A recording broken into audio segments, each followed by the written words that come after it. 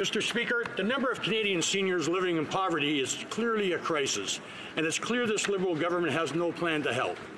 As we get closer to an election, we will hear bigger and bigger claims from this government about what they have done for seniors. Don't believe any of it. A recent study done for the Hamilton Community Foundation laid bare the dire situation for many of our seniors in Hamilton.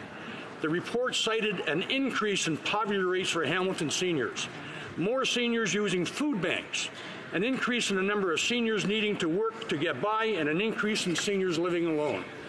The study project's director, Jeff Wingard, says they have found a rise in poverty rates for the first time in recent memory. He also said the number of seniors who are working has doubled, many in low paying jobs, and many of those seniors are working because they have to, not because they want to. This government needs to get their heads out of the sand, recognize there is a real problem, and offers up real solutions and not empty election promises. Thank you.